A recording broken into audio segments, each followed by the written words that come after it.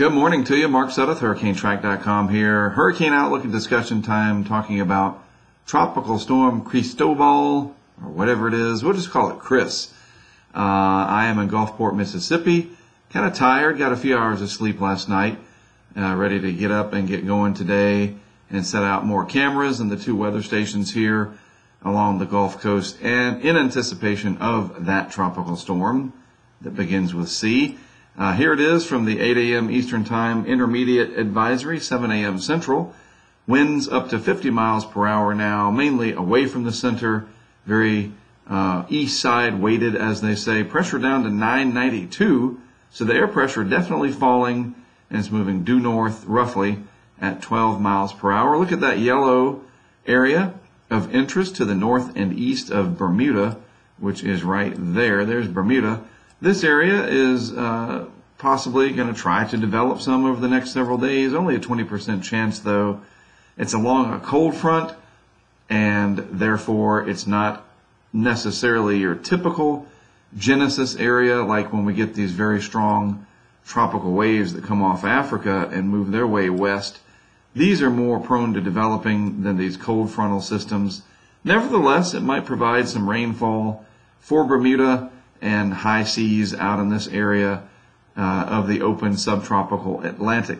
Other than that, Cristobal has us busy enough, nothing else going on for the time being. All right, infrared satellite imagery, courtesy of the Weather Nerds site. And you can clearly see it's got this sort of hook shape to it. Now it looks like a big old candy cane or something. It's lopsided, dry air wrapping around on this side of it overall uh, the convection or the upward motion and thunderstorm activity located on the east side. And it is trying to wrap a little bit there, though, on the northwest side. Structurally speaking, at least from a infrared perspective, it is not particularly healthy looking, which is typical for June. All right, very important. This is typical for June, not unusual to see something like this. In fact, it's fairly well organized for June, to be honest with you, because you usually don't get June hurricanes. But if we look at it from the visible satellite perspective, this is the loop that's loading now, this tells a, a better story of what we're looking at in terms of the structure here.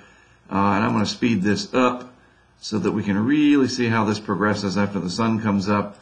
There's the center of circulation located right in there, really easy to see. And then this sort of comma shape to it. Uh, large feeder band. Look at all the lightning flashes in there. So very active.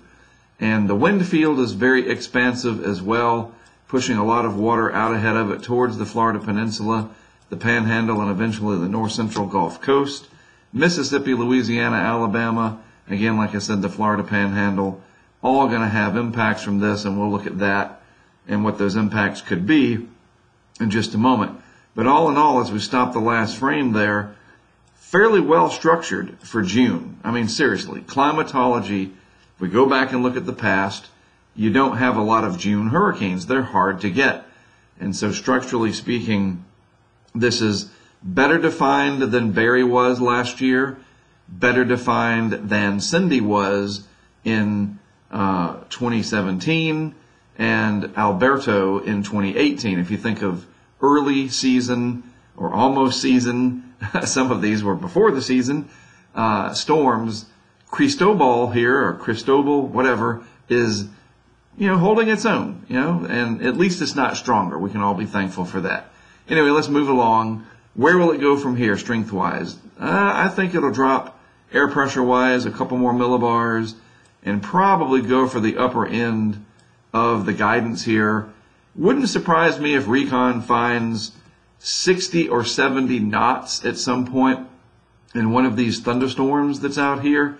And this is very important. So if Recon, you know, there's the center of circulation right there. So the hurricane hunter flies an alpha pattern through here, something like that, and samples the environment, they're not going to find very much in the way of strong winds in here. But if they fly around in here, however they do it, yes, that's where they're going to find stronger winds it won't surprise me when all is said and done if we do see this is in knots 60 maybe 70 knots if it briefly becomes a hurricane because one of these stronger bands in here, especially as this gets closer to landfall up in southeast Louisiana and begins to tighten up, uh, I'm on record as saying I'm not going to be surprised, and I know that's hedging my bet, that this becomes a category one hurricane if for only six to eight hours. That being said, that's a label that we put on there, right? You know, that's just a label. Had to, that was, something was getting ready to fall off my desk there. I got a cup of water and the condensation on it was making it slide off this table. Um, it's what we label it. The effects are going to be the same. Now, if it was a 60 mile per hour tropical storm and it went to a 100 mile per hour hurricane, yes, that would be a pretty big difference. But a 60 knot tropical storm, which is about 70 miles per hour, versus a 70 knot, which is 80 miles per hour, not much difference overall that you can go out and go, wow, I noticed a difference there. I really did. Not quite. It's what you see in this overall large envelope of energy here that's headed towards the Gulf Coast that's going to cause the problems. And whether or not it becomes a hurricane is academic, almost literally, in terms of what you can expect. So overall, the guidance a little bit more in the way of intensification, probable. Uh, but the main thing is that these impacts are already set into motion. Here's what the GFS from the 6Z run indicates with the storm moving northward towards the Gulf Coast, kind of wobbling about. And the pressure gets down to about 991 there, tightens up. And, and the way the GFS depicts this, it does look like it tries to come together just a little bit more there. Again, that center kind of jumps around kind of weird. Uh, and you see the rainfall. This is depicting previous rainfall amounts. And this extends all the way over some of these feeder bands into Florida. And the general onshore flow, you see these isobars right here? That's what these lines are. And generally the wind is going to follow those lines. And so the flow is out of the south towards the north, piling up the water very efficiently here from Cedar Key all the way over to southeast Louisiana, the Mississippi Sound, Lake Borgne. There's not any storm surge watch or warning for Lake Pontchartrain, which is somewhat surprising to me. And we'll look at that in a moment as to what to expect. But this moves inland and then watch what happens. This is overnight, tomorrow night into early Monday morning. This gets on up into Arkansas, huge flood potential, lots and lots of heavy rain, severe weather in the right front quadrant with any of these bands that form, especially in the late afternoon to early evening. The tornado threat's going to be there. And then that thing moves on up into uh, the Great Lakes region from there. I'll be talking about that over the coming days. So you guys, well inland, hundreds of miles from the coast. And look, this depicts it very well. That's the forecast rain swath inland. That's Iowa, all right? That's Wisconsin. And this could head up into that region, believe it or not. The bullseye of rainfall, though, down here along the Gulf Coast, centered on Mississippi and Louisiana, anywhere from 6 to 10 inches. That's a lot with isolated amounts of a foot. Peak surge, this is a very, very cool graphic, really easy to understand. I'm going to highlight it in blue, 3 to 5 feet from Ocean Springs over to the mouth of the Mississippi including Lake Borgne in here. That Highway 90 corridor, Waveland, Bay St. Louis, around to Gulfport, the typical areas, you know how the Mississippi Sound reacts when you have the piling of the water up into this region, and that's what we're going to get as the storm approaches. Over to the east from Ocean Springs to Indian Pass, one to three feet. So, and this is above ground level, by the way. Those are storm surge values above ground level. Not everybody will see that. You know, some people might see six feet, and some people might see a couple of inches where they're like, wow, that was nothing. But this is the general guidance. Over uh, in the Big Bend of Florida, two to four feet. That's fairly significant. St. Mark's over to Cedar Key, other areas, Steinhatchee, I think that's how you say it. And then from however you pronounce that town down to Marco Island, what is that? Aripeka? I'm probably just butchering it. Um, one to three feet. So this is this is a huge area of real estate. And then over to Morgan City, two to four feet. But notice the absence of any storm surge information because I guess they're not too worried about it for Lake Pontchartrain, which puzzles me. Mandeville being right in here, we have a live camera there now. With the track of Cristobal moving in this way and the onshore flow piling in across like that, I would expect that there would be some surge along Lake Pontchartrain. I guess we'll see. We'll see what happens. Just be be prepared for that if you live along Lakeshore Drive in that region. Uh, what else in terms of impacts? I wanted to go back to the uh, wind. We see rainfall. We got flash flooding. Uh, key messages, just real quick, just to give you an idea.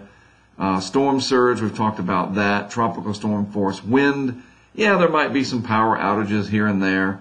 And again, remember I talked about this on last night's update. You can go to weather.gov. You click on an area of the map that you're interested in, or you can put in your zip code or your location, like Gulfport, Mississippi. Click on it. You get to the landing page and read those red headlines right there. If it's in red, it's important. Read them. Flash flood watch, detailed information, hurricane local statement, the tropical storm warning and the storm surge warning. Click on any of these as an example hurricane local statement. And it's lengthy, but what else do you have to do, right? Read about it. Seriously. Good information written by people at your local office. And in this case, that is the Slidell, Louisiana, New Orleans, Louisiana area National Weather Service forecast office. All right, so the camera system's up and running. There's my vehicle cam sitting out of the parking lot of the hotel here in Gulfport. We've got one camera set up here. There's somebody driving by. Look how awesome that is. We'll be able to monitor this. This is what the crowdfunding from Patreon allows us to do. There's my mug. These are the membership levels. The cameras begin at the $10 level. And it's more than just the cameras. It's a community. You get access to our live chat and much, much more. In fact, you also, very important, again, it's not just the cameras, the original content that I produce, the entire season one podcast, Stories from the Hurricane Highway, any level on Patreon, a dollar to whatever, that's included. Kind of like Amazon Prime, included with Prime, right? All of my documentaries, all of them, the Tracking the Hurricanes series, that is available through Patreon. Everything going back to 2004, the 2018 documentary, and the brand new Hurricane Highway series that I'm producing. Three episodes ready. The fourth episode is going to drop tonight, Hurricane Dorian. It's actually called episode five because episode four is still in progress, but it's the fourth episode being available, if that makes sense. The fourth episode, episode four, is actually about the weather balloon project, and that will be ready later on in the month of June. But anyway, uh, Dorian, for all of you that are already a member or if you're thinking about signing up, the Dorian episode is going to be available tonight. I just finished it up before I left to come here. So that's what we do. And you get access to the cams. Like I said, I'm going to have other ones. Six total cameras plus the vehicle camera. We have our live chat here. People on here, Cecil, Tim, down in the U.S. Virgin Islands, JL. We'll let, when they put JL, we're not going to call people's names out, but you know who you are. Uh, all sorts of folks on here. This is Michael. You know him from YouTube. Ma, as we call him. Michael Hurd and his wife are members. There's John. John's been a member for 15 years. I say member. It's almost like being a co-op. Anyway, I know I'm rambling about this, but that's what we do. That's what this crowdfunding, the strength in numbers, uh, allows me to do, and I get to work for you. All right. So hopefully you stay informed. That's my number one goal. And then I show you these cameras and the impacts and the weather stations. Nothing else like it anywhere on the net. We've been doing this for 15 years with these live cams. That's come a long way. And I appreciate your supporting it. All right. So let me get out of here. I got some stuff I got to do. And then we got to go put up those cameras, right? Uh, follow along on the live YouTube feed. That will always be available absolutely free of charge. I appreciate all the help and uh, people helping me to get that thing running like we do. And uh, I'll see you from out there around the Mississippi, Louisiana coasts, wherever. As always, thanks for tuning in. I am Mark Sudduth, HurricaneTrack.com. I'll see you from the vehicle as we travel around setting up the equipment. Greg will join me. We'll see you throughout the day.